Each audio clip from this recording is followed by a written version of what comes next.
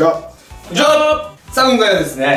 えー、このやっぱり野球。まあ野球といってもやっぱあの硬いボール使ってますから事故はつきものと。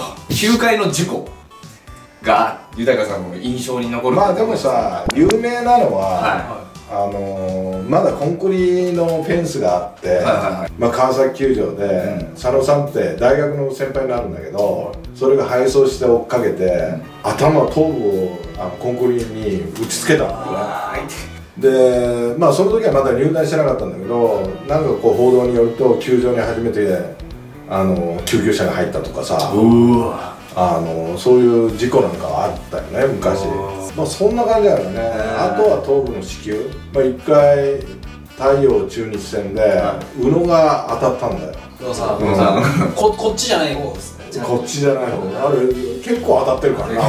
頭にでポコーン当たって。でこう倒れたんだ倒れて。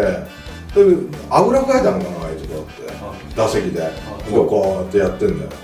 で俺同級生だよ。同い年だから「宇野大丈夫か?」って言ったらあいつなんつったの相手を責めないんだよ。でバッティングが調子悪かったんだよその時宇野が。不調に陥っててあいつが言った言葉ってさやっぱ調子が悪いと避けんのが下手だなって。えー、す反応も悪くなってんなとか言って。えー、すげえ。自分を責めてんだよ それすごいっすね。ストイックっすね、うんだからああそそういう考えができるやつなんだと思ってびっくりしたけど、で、まあ、そんなにね現役時代に大怪我見るっていうのは、まあ屋敷とパチョレクっていうのが激突して一つのボールを追っかけてね左中間の。はそしたらこう血のりドロッとしてるやつはが2人とも流れてたというさ。い、うわ。で俺血とかダメだからこんなもんは。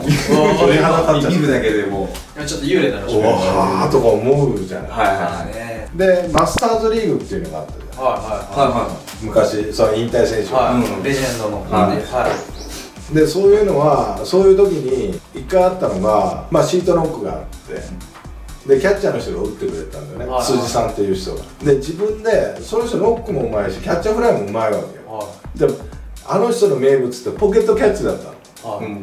あのキャッチャーフライで、はそれぐらいうまい人だったへで自分でこうやって打ち上げてキャッチャーフライの。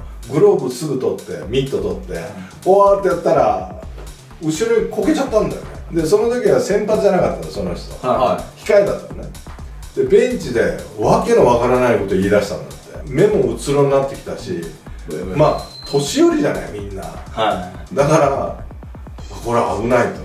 で救急車呼べと、そしたら脳震盪を起こしてたとか。いええそういうことがちょっとわわもう笑えないよがわからん。わ笑っちゃいけないけどいけないけど笑って笑っちゃうよね、まあ、そういう事故もあったし、あとはレフトそのマスターズリーグで、レフト前カチーンって打って「おー!」とか言ってたらレフトゴロになってたし。いやもうさあちこちで肉離れしてるわけよ。だからもう走れないわけレフトゴロはもだからそこら辺はもう事故だらけだよねレフト前打ったって安心して見てらんない。けど無事に帰ってくるかっていうのが心配なわけです一試合見たら必ずプロって笑えるようなあもうそういうシーンが絶絶対対やったと。いやおい事故だらけっつったらさ俺がさあの森監督の時は俺がコーチに入ったんだよ。ベイスターズの時ね、まだ DNA になる前。にその時に盗塁を豊川お前自由にしていいって言われてて、俺一塁コーチャーでで一二塁でさセカンドの井上っていう選手に「お前いけるか?」って言ったら「いける」って言うんだよ。三盗できるって言うんだよ。おじゃあ行けと。一塁ランナーが近所だったんだよ。おおははいはいはね、耳元に寄って近所井上がスタートかけたら「お前遅れたら走るなよ」って、はい。セカンド投げてくるかも分かんないからって、はだからよく見とけと。いいスタートだったら行っていいからって。遅れて行ったんだよ。アウトになったね、相手が野村さんだ。はい。でこっちは森さんだ。やっぱこう監督としてのライバル同士の戦いがあるわけヤクルト太陽さんで、そしたらコーチ会議の時怒られたから「てめえお前なんでお前。走らせたんだ」とか言って「いやいやいや」って今まで走らせてていいって言ったじゃないですかみたいな思うわけおめえは勝手に走らされる監督の気持ちって分かるかってええみたいな いや、わかりませんって言ったの。いや、普通、入って、すいませんとか言うよね。はいはいいや、わかりませんって言ったの。コーチの目が点だよ。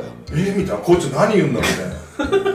わかんねえのかって言うから、いや、僕、監督やったことないんで、わかりません。おおいいいっすいねいいっすねいいっすねいや、それで、だからもうこれからは、みたいな。